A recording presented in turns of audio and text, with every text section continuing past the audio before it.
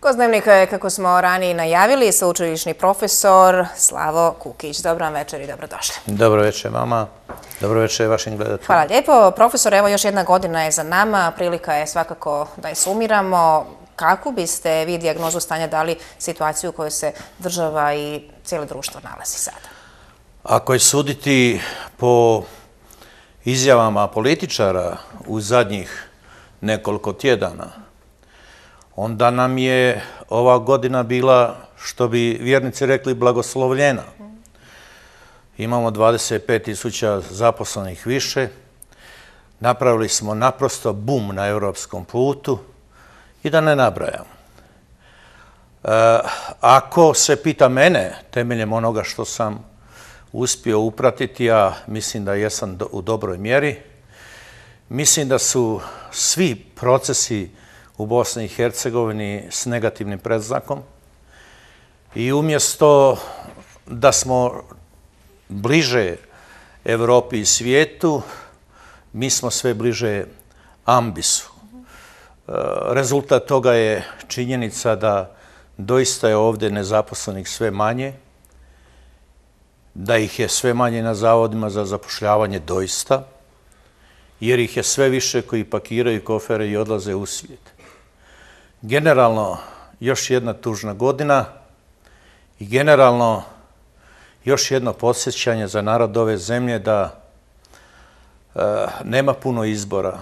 Ili će on sam promijeniti čurak, ili će oni koji upravljaju njime u zadnjih 25 godina definitivno se pobrinuti da ga nestane. Je li to jedini lijek za diagnozu koju ste vi uspostavili? Narod? E, nema druge kad bi sad koristio vokabular iz prošlog stoljeća, rekao bi da postoji još jedan lijek, e, tolja ga u ruke. Ali mi smo u 21. stoljeću i vjerojatno je neprimjereno koristiti takav vokabular. Dakle, jedini način je u uvjetima političke demokracije da se na izborima kaže dosta je, imali ste puno prilika, nećemo vas, hoćemo druge, kakvi god da jesu. Eh, evo, sami ste spomenuli, živimo u 21. stoljeću, živimo i u društvu čiji su odluke, odlike krađa, kriminal i korupcija. Eh, Svjedoci smo iz dana u dan. Eh, hoće li se te stvari morati riješiti i očistiti na putu ka Europskoj uniji o kojoj se toliko govori? Naravno da da. Inače, nema pristupanja društvu evropskih naroda. Kakva je volja da se to uradi? Ali ja mislim da što se tiče postojeće političke klase, da ona uopće nije raspoložena za društvo evropskih naroda i sve ovo što svaki dan pratite kroz elektronske ili printane medije, e, svo to raspoloženje koje one pokazuju, ja mislim da je to obično blefiranje, jer oni znaju da reforme sistema koje podrazumijevaju približavanje društva evropskih naroda, podrazumijevaju i funkcioniranje pravne države, a onog časa kad profunkcionira pravna država, problem nastupa njima. Stoga sam ja sasvim siguran da će oni učiniti sve da to pridruživanje društva evropskih naroda, ako ne ukoče, onda odgode što je moguće dalje. E, evo, pitaću vas na drugačiji način, pretpostavljam da je sličan odgovor. Kome je najmanje u interesu da brže idemo ka evropskom putu, odnosno ka Evropi? E, dakle, onima koji su do guše u kriminalu i korupciji, e, pri tome moram priznati da bolja je bilo kakva država nego nikakva. Nažalost, ja volim ovu državu, ja sam bosansko-hercegovački integralista, ali mi imamo nikakvu državu.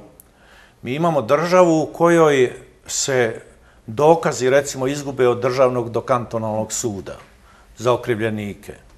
Ili imamo državu u kojem se e, materijal za optužnice drži u laticama glavnih igrača u tužiteljstvu. Ili imamo državu u kojoj su glavni igrači e, u, u sistemu, nekakvi polupismeni novinarčići, umjesto da glavni igrači budu oni koji, koji, koji je zakon postavili, koji su postavljeni prema zakonu. Imamo na koncu državu koju vladaju ljudi umjesto da vladaju zakone. Imamo sve što je atipično za društvo evropskih naroda i naprosto u tim uvjetima nemoguće je očekivati kopernikanske obrate, da tako kažem, da se nađemo tamo gdje nam nije mjesto. A, ako takvi vladaju, kao što tvrdite, godinama u državi Bosni i Hercegovini, kako je moguće da vladaju? Kako to narod ne vidi? Uh, znate, ja sam profesor, imam pravo na, recimo, ispade verbalne.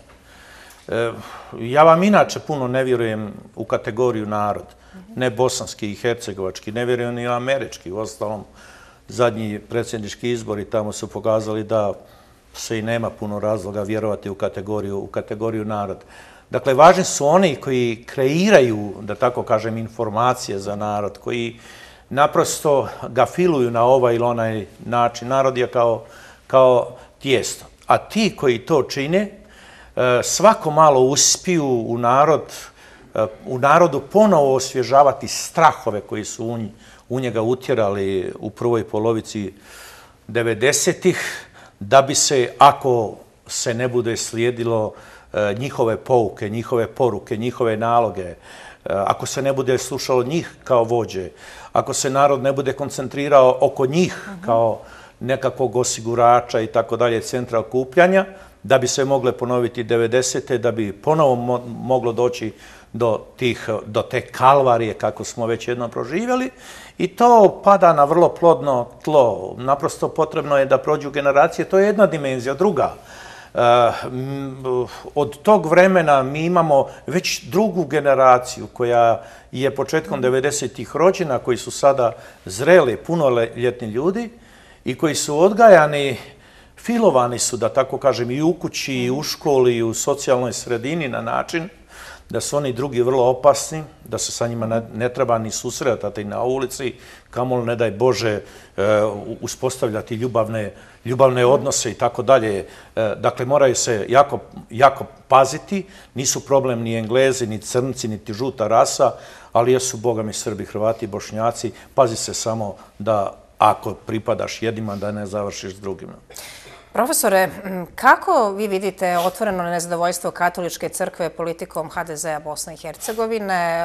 Potpuno, čini se, različita viđenja uloge Herceg Bosne i pitanja trećeg entiteta. Ah, to je bar na razini trenutačne reakcije ohrabrenje što se mene tiče i mislim da u ovakvoj formi otvorenoj katolička crkva nije nastupila od 96. godine. Ono što mene, međutim, E, čega se ja pribojavam jeste da bi to mogao biti trenutačni prasak. U ostalom, po onome što sam ja uspio upratiti e, od 2005. godine e, u politici HDZ-a niti njezinog lidera nije se ništa specijalno mijenjalo, ali je katolička crkva bila dosta benevolentna prema toj politici. U ostalom, prisjetimo se tog biskupskog štapa, jeli, E, kojim je naprosto izraženo slaganje sa jednom orijentacijom jer je on primjen. Prisjetimo se e, tih prijema u predizborno vrijeme od 2005. pa do 2016. Iako se radi o politici koja se, koja, koja se ni u čemu nije promijenila u odnosu na ono koje je u ovo božićno vrijeme katolička, vrh katoličke crkve napao.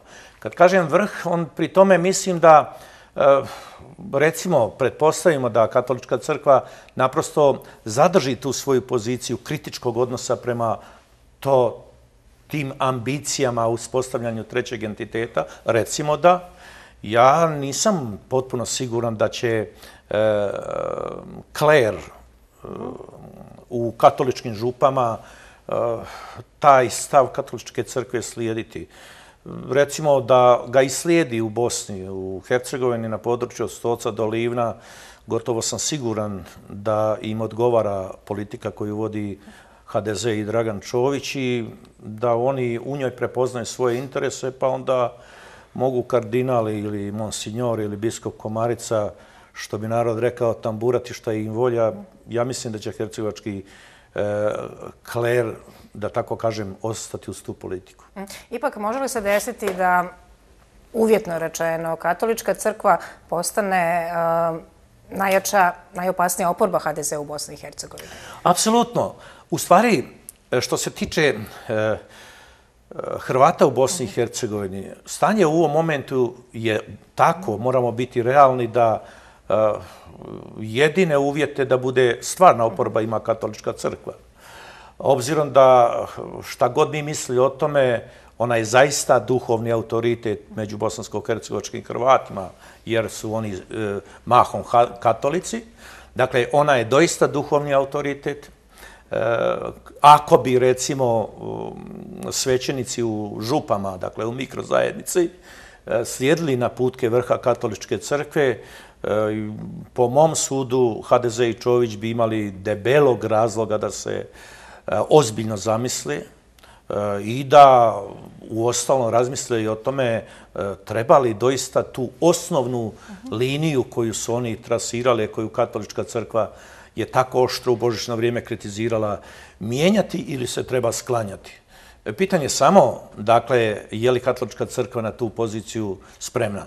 Ako bi se na to odlučila, bojim se da bi vladavina HDZ-a, vladavini HDZ-a, bar što se tiče utjecaja među bosansko-kretskovačkih Hrvatima, uh, došao kraj. E, dolazite, odnosno živite u gradu gdje devet godina nisu održani izbori. Um, Hoće li po vama to još dugo potrati? Na moju sreću, ja ne živim u tom gradu. Na moju sreću, na moju sreću, ali da, tamo sam ovaj, e, zaposlen. I siguran sam da što se Mostara tiče, mm, ukoliko se e, obaveza izbora ne nametne, e, oni se neće dogoditi niti 2018. Neće se dogoditi ni posle toga. Posebice ako se zadrži ovaj stav, ova pozicija katoličke crkve, kako imamo u božićno vrijeme, jer izbori po sebi su rizik za glavne igrače koji u ovom momentu upravljaju životima i novcem građana Mostara. Uh, iz toga ti glavni igrači nemaju specijalnog razloga da bilo šta mijenjaju. Pri tome ne mislim samo na HDZ i SSDA im je ista priča. Uh, radi se o stotinjak miliona konvertibilnih uh, maraka o kojima se odlučuje bez ikakve vanjske kontrole i tako dalje. Eh, neće oni u tom dijelu ništa učiniti i svaki put će jedni druge optuživati eh, kako nisu učinili ništa da Mostar funkcionira kao normalan grad, a nisam siguran da, je za, da iza paravana ne dogovaraju dalju strategiju zajednički. Idemo se pozabaviti i analizirati i oporbu, odnosno Ljevicu. Kako gledate na sve veće zajedništvo Ljevice? Eh, najavljuju upravljanje ne nacionalističkog bloka. To nužno ne znači, kažu, ujedinjenje, ali znači zajednički nastup 2018. godine. Koliko to ima veze sa onom pričom e, sa početka našeg razgovora? Dakle, ja mislim da prvo Ako mislite na Jahorinsku deklaraciju, u njoj se ne govori o e, udruženoj ljevici, e, govori se o građanskom pokretu u Bosni i Hercegovini, koji ne uključuje samo stranke lijeve provenijencije, nego i sve druge, koji ne polaze od interesa kolektiviteta, nego od čovjeka i njegovih e, životnih interesa. E, po mom sudu, Bosna i Hercegovina, ili bar ja ne želim vjerovati da je Bosna i Hercegovina atipično evropsko društvo, ja želim vjerovati da u njoj postoji taj balans odnosa lijevo i desno u političkom tijelu. Svi rezultati izbora, međutim, mene demantiraju.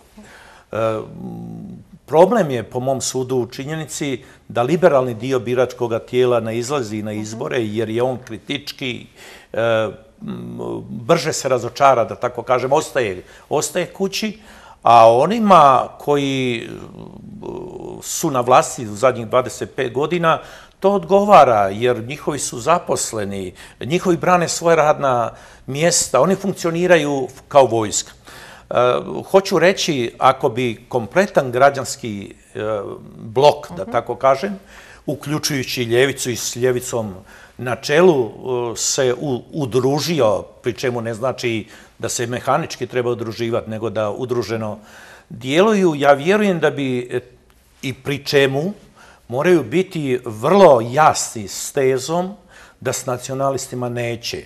Mogu pa li oni probuditi izborne spavače? Tako ja mislim da da, ali ako budu doista u ovom dijelu principijelni. Mi s njima nećemo. Pa ako to podrazumijeva da nećemo dobiti šansu za sljedećih 50 godina, nećemo 50 godina.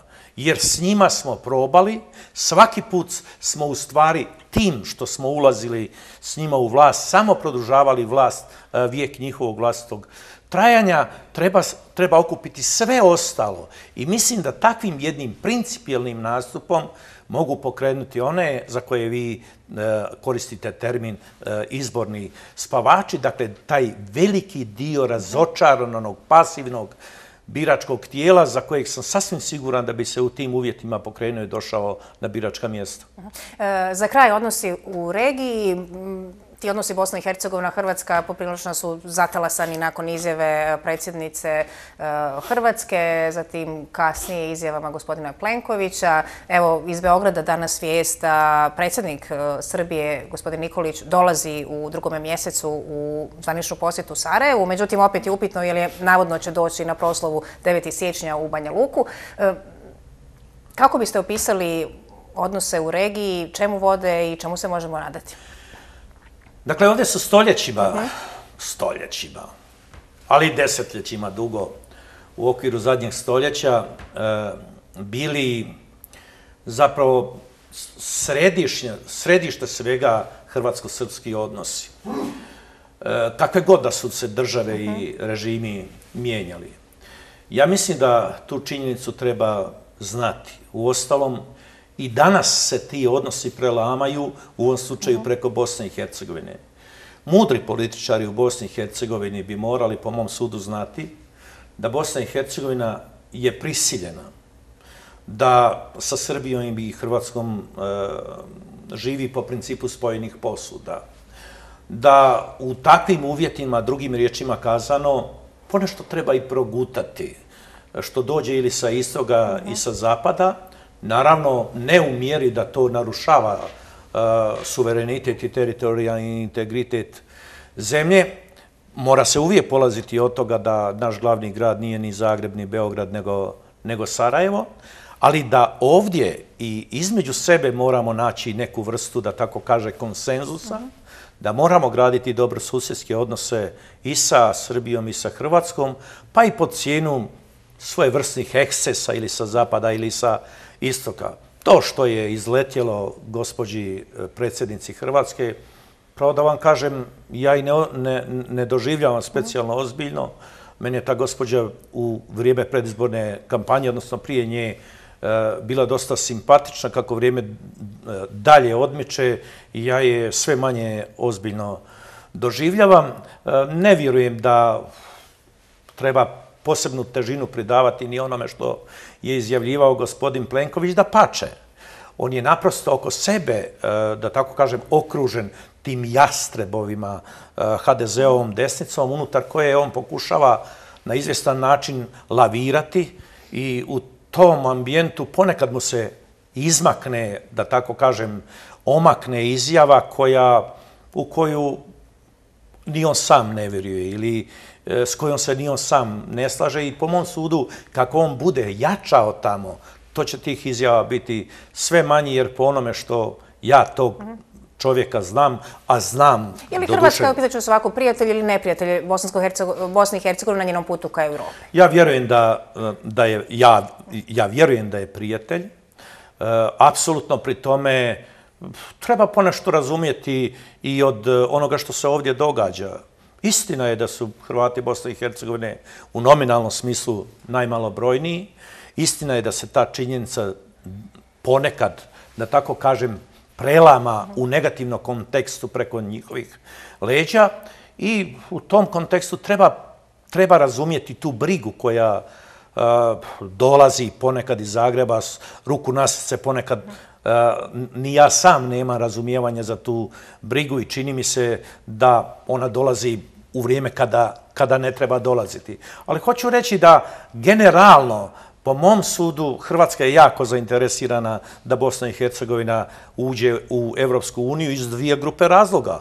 E, s jedne strane, zbog tih e, tisuću kilometara granice koja s njom, s njom dijeli, koje, koja je sigurnosna granica, da tako kažem, a s druge strane, zbog pozicije i vlastnog naroda, Hrvata u Bosni, u, u Bosni i Hercegovini, ulazak, ulaskom Bosne i Hercegovine u Europsku uniju, ta pozicija Hrvata ili ta briga, taj strah za njih bi po, po, po automatizmu, po defaultu bio eliminiran. E, za kraj, da ne ostanemo dužni, Nikolić u Sarajevu, dobrodošao? Apsolutno, mm -hmm. dobrodošao. E, dakle, nemojmo nikome okretati leđa. To generalno, dakle, nije, nije dio e, političke mudrosti. E, mogao je Nikolić u prošlosti biti šta, šta, šta god da jeste. Mogao je Vučić u prošlosti biti šta god da jeste. E, ljudi imaju pravo i na promjene. E, znate, kad, kad, kad, kad dođete na odgovorne državne funkcije, što šta drugačije vidite nego kad tako imate pred sobom otvor, otvoren prostor odavde do mora. Profesore, hvala vam lijepo za izdvojeno vrijeme i što ste govorili za Dnevnu TV1. Hvala vama i vašim gledateljima još jednom.